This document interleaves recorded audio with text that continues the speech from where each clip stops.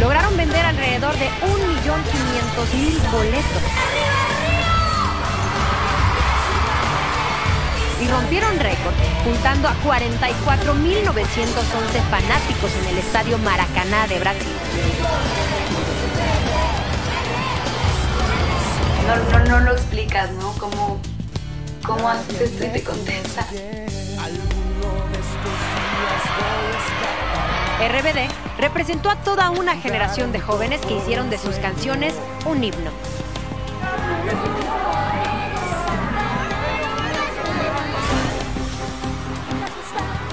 Después de más de 30 millones de discos vendidos, múltiples discos de oro y platino,